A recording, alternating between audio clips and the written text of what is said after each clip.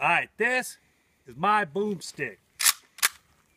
M44 Russian Mosin Nagant.